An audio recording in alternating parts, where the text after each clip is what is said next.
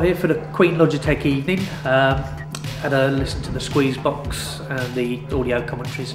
Brilliant. Love the little Logitech bit of kit. The fact that it's open source apps, wonderful. Very impressed with the commentaries that's stored on it. Yeah, I'm looking forward to uh, to playing around with it.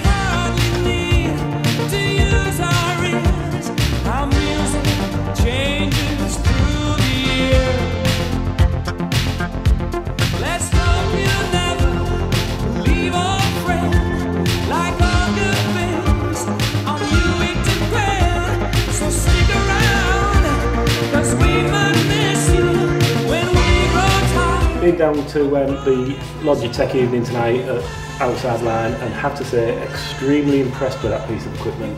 Sound quality is absolutely incredible for such a small box. Uh, can't wait to get one for myself and turn it up loud, see how it sounds at full blast.